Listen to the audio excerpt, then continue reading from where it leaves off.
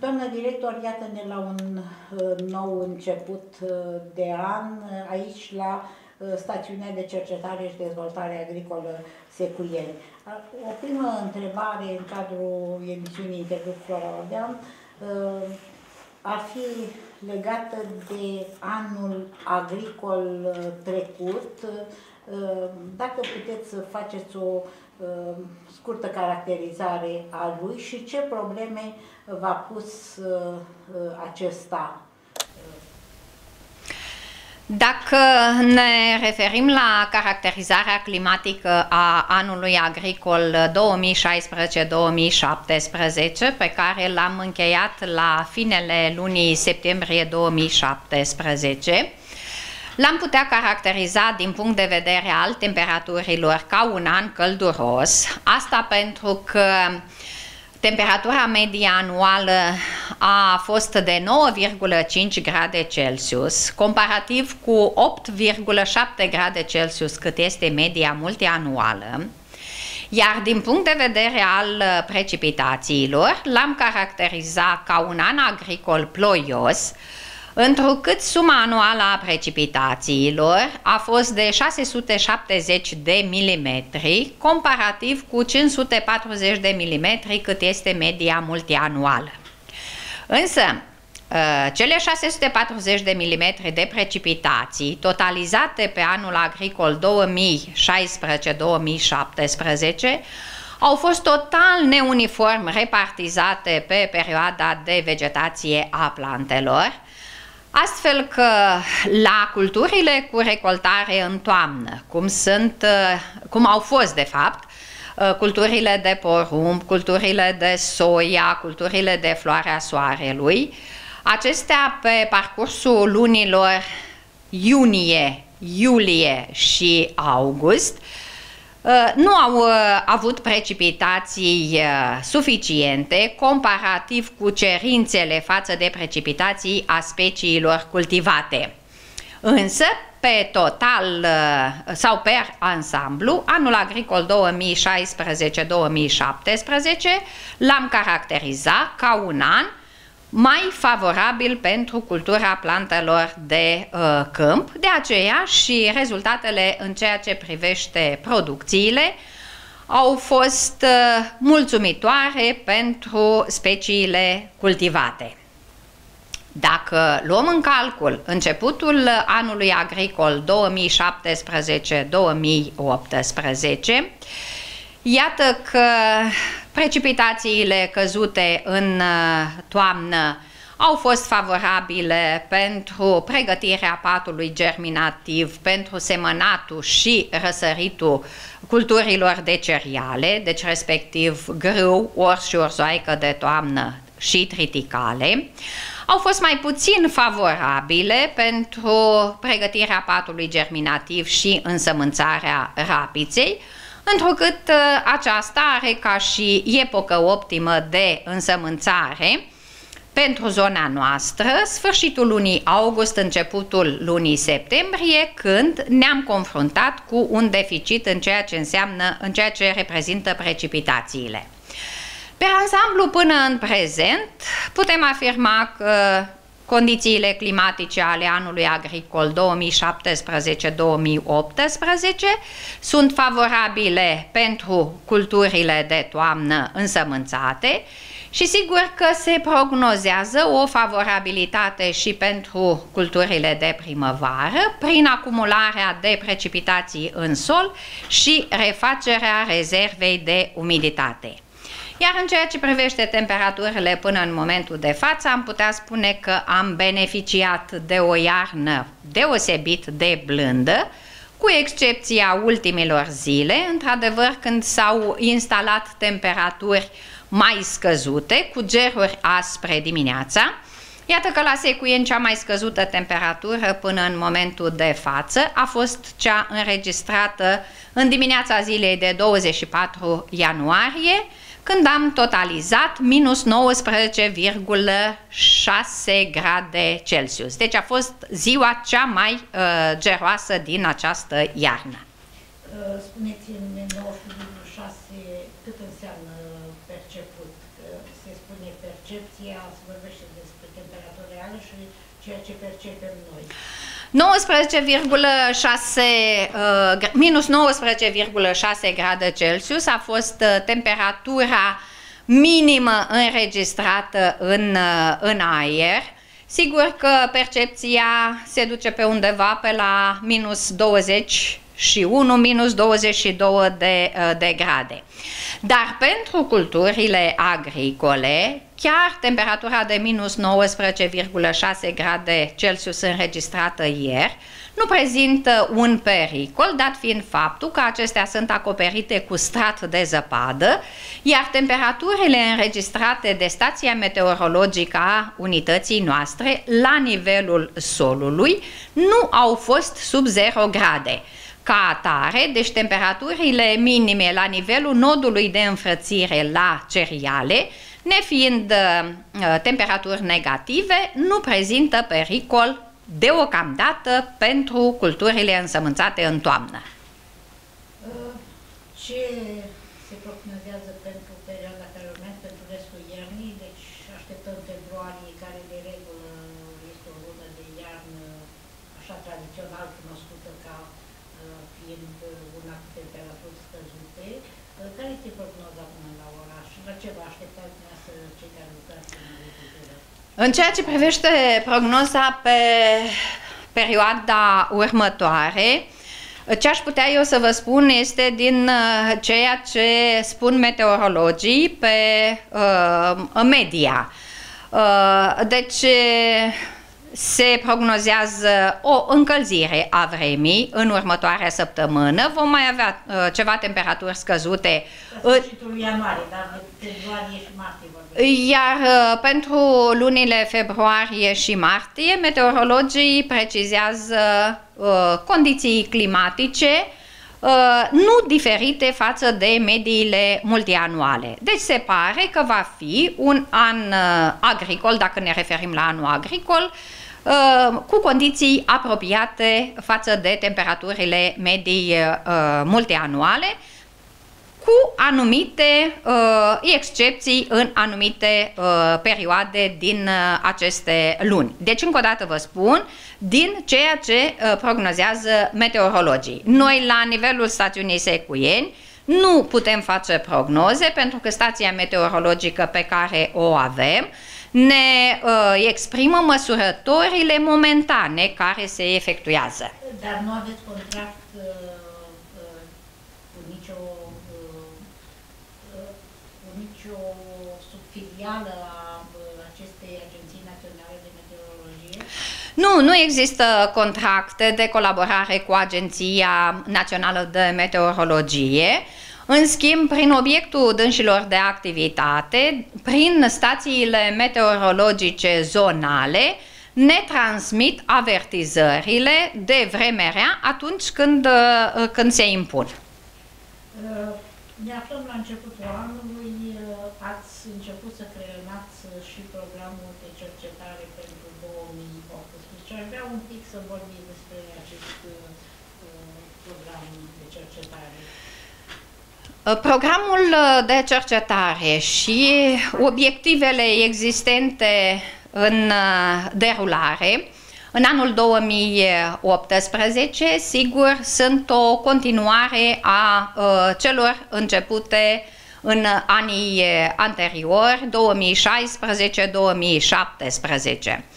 În anul 2018 se finalizează patru proiecte câștigate la licitație în cadrul programului ADER, program uh, coordonat de Ministerul Agriculturii și Dezvoltării Rurale.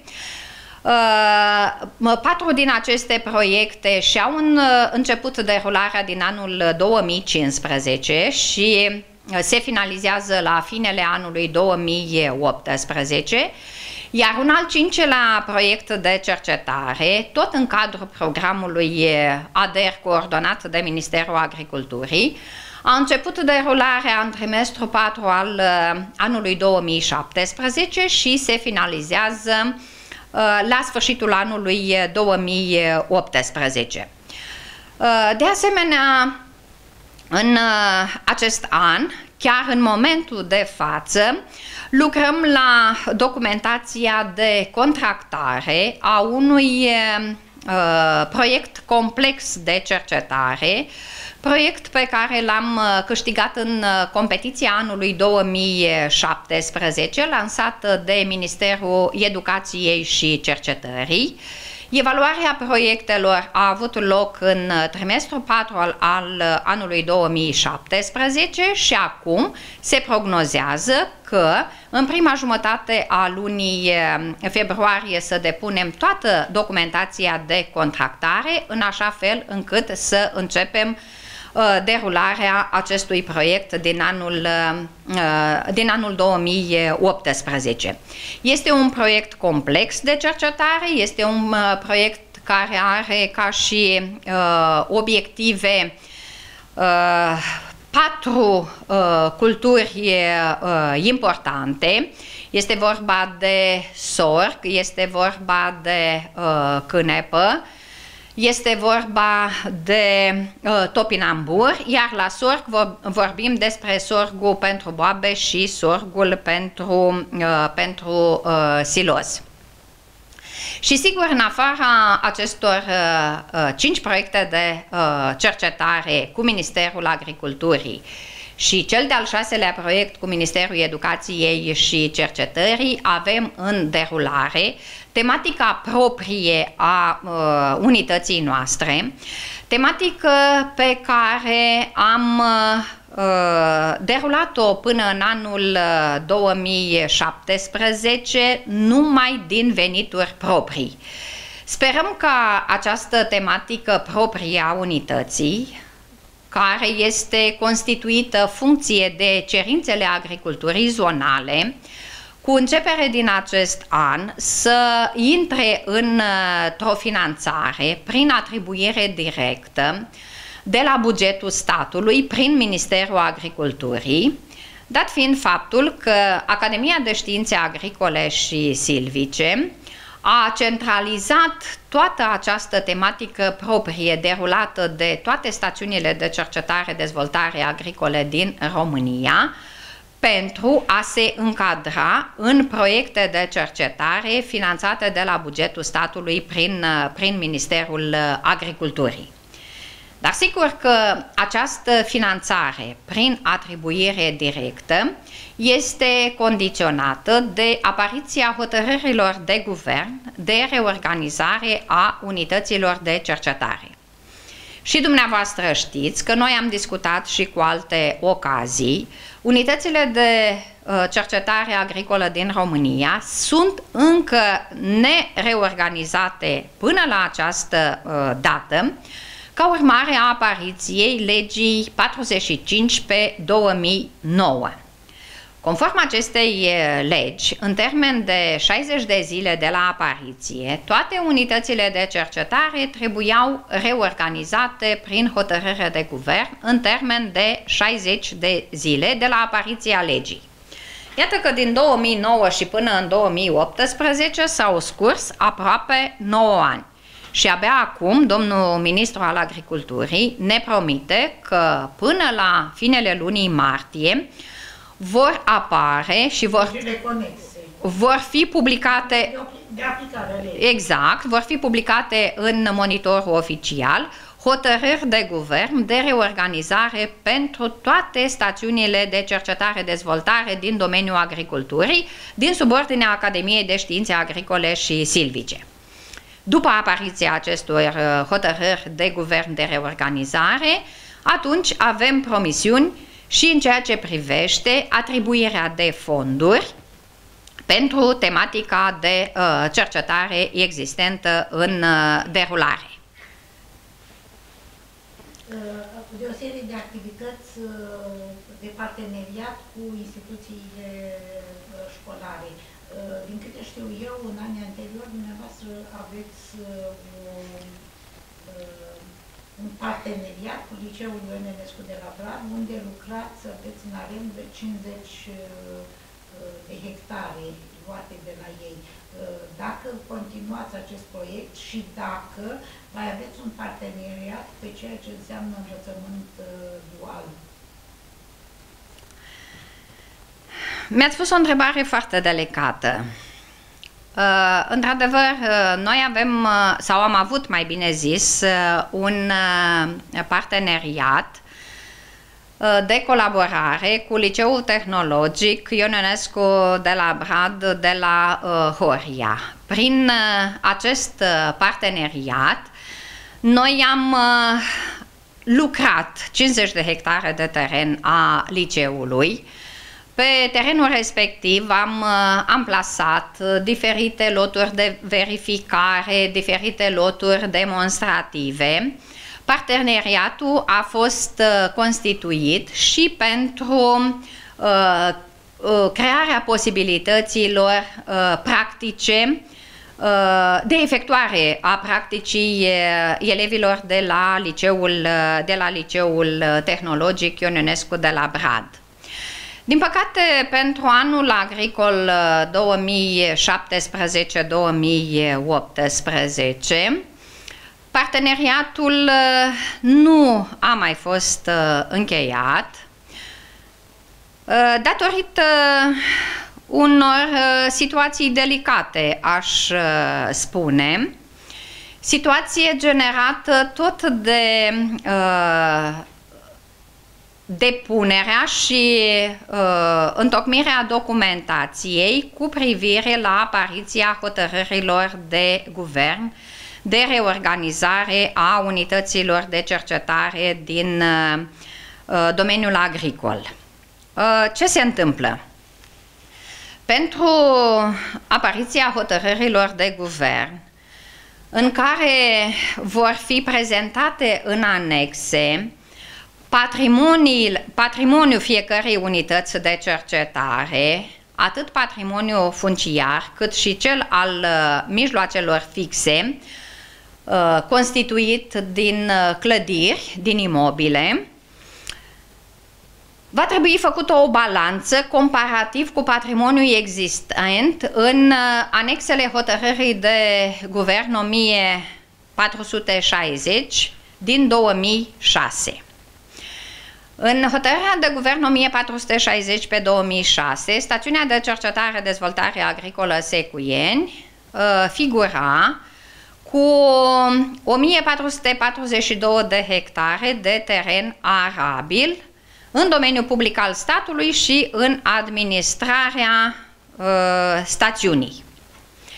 Din cele 1442 până la apariția uh, hotărârii 1460 pe 2006 s-au retrocedat o serie de suprafețe de teren, dar s-au retrocedat numai pe baza hotărârilor comisiilor județene de fond funciar, fără ca la vremea aceea hotărârile Comisiei Județene de Fond Funciar să fie contestate de către conducerea de la vremea aceea a stațiunii în instanță și numai după obținerea sentinței judecătorești um, să fie uh, scoase din domeniul public al, uh, al uh, stațiunii.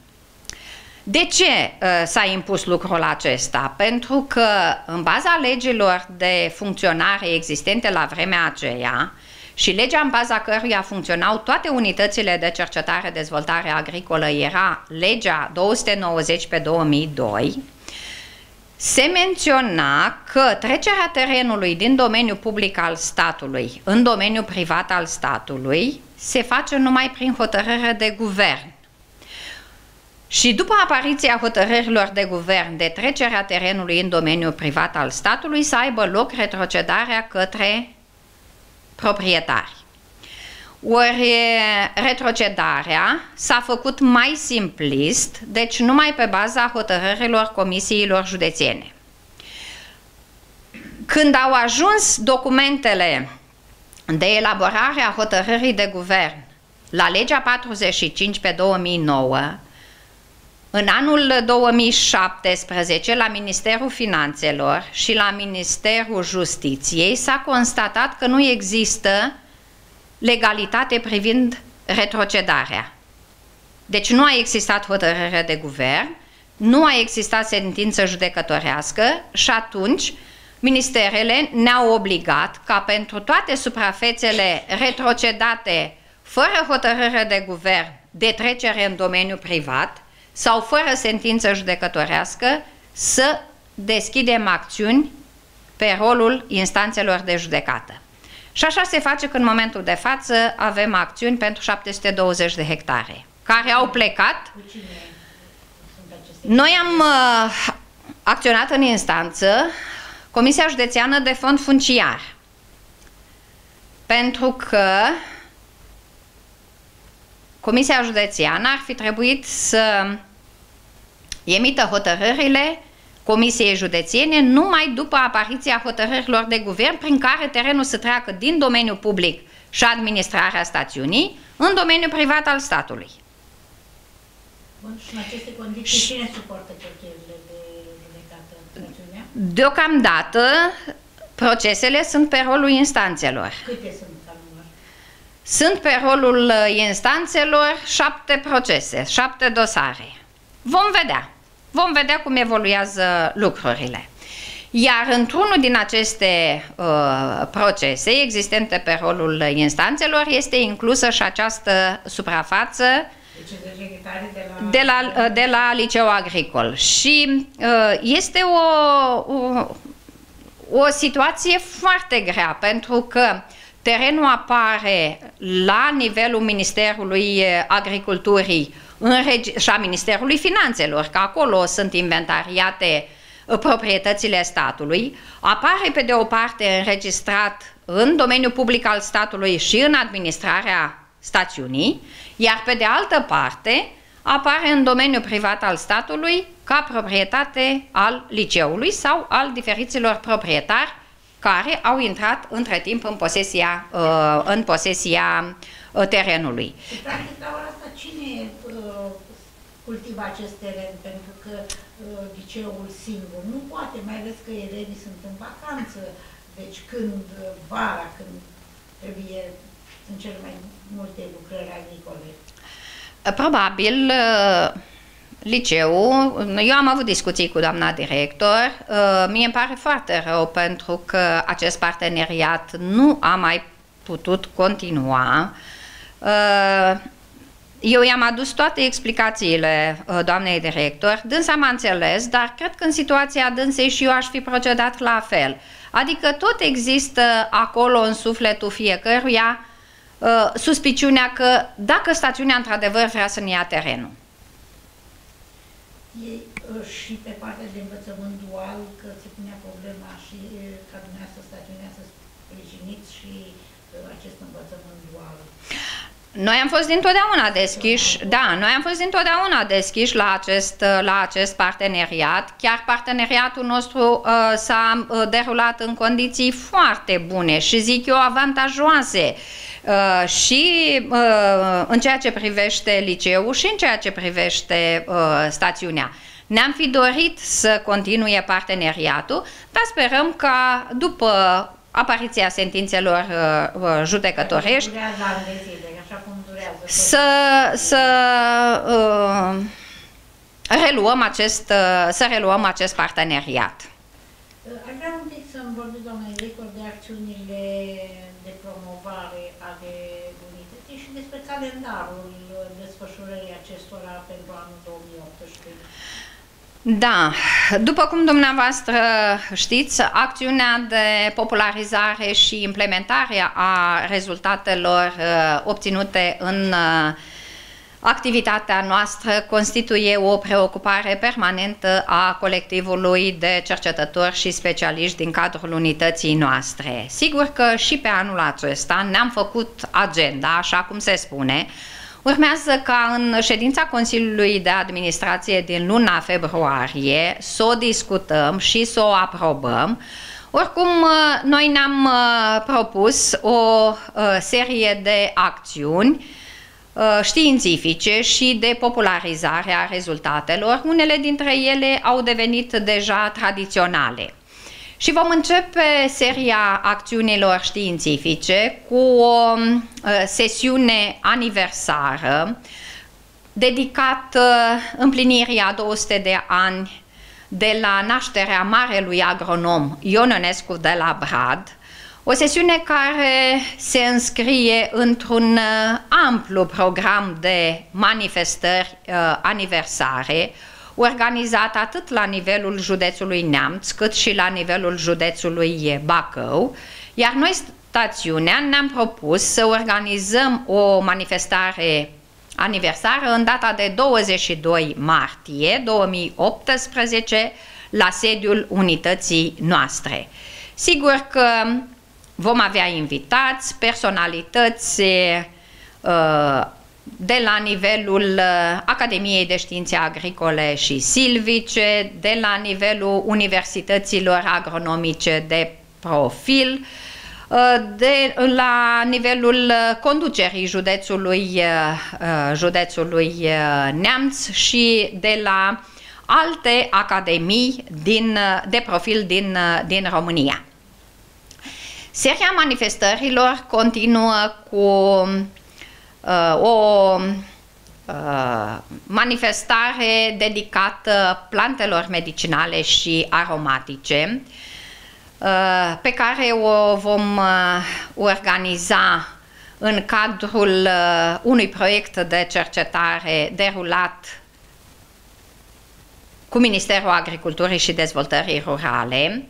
Prima manifestare a fost organizată în anul 2017. Ne propunem ca și Ziua Plantelor Medicinale să devină o manifestare de tradiție pentru uh, stațiunea noastră și aceasta o vom uh, organiza în luna iunie.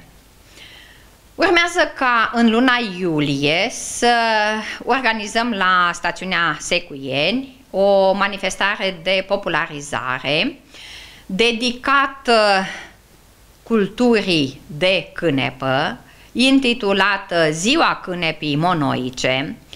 Manifestarea o vom uh, organiza împreună cu Asociația Cultivatorilor de Cânepă din România și sigur n-am stabilit încă o dată precisă, dar va fi în prima jumătate a lunii iulie. Pentru luna august ne-am uh, planificat deja tradiționala manifestare dedicată cultivării soiei, intitulată Platforma Donau Soia, manifestare pe care o organizăm cu începere din anul 2015 și de fiecare dată am organizat-o împreună cu Asociația Donau Soia. Pentru luna septembrie începutul lunii septembrie, ne planificăm o întâlnire cu uh, fermierii din zona Moldovei pentru a ne prezenta oferta de sămânță la cerealele de toamnă. Iar în afara manifestărilor organizate în cadrul stațiunii, sigur că cercetătorii noștri vor participa cu lucrări științifice, cu comunicări științifice, la manifestări științifice organizate de instituții de cercetare și învățământ agronomic superior, Deja am primit uh, invitație de a participa la sesiunea anuală de referate științifice organizată de Institutul Național de Cercetare Dezvoltare Agricolă Fundulea, uh, de Stațiunea de Cercetare Dezvoltare Agricolă de la Turda și sigur uh, și în anul acesta vom fi alături de colegii noștri de la Institutul Național de Cercetare Dezvoltare pentru Protecția Plantelor București. Vom participa la Congresul Internațional organizat de Universitatea de Științe Agricole și de Medicină Veterinară din, uh, din Iași cu care avem uh, relații de colaborare și parteneriate uh, durabile. La târguri, mai participați anul Participăm și la târguri, la fel ca și uh, anul uh, trecut. Și sigur că vom uh, fi prezenți la Târgul Internațional al uh, Cercetării Euroinvent, uh, târg care are loc în fiecare an, în prima decadă a lunii mai, la uh, Iași.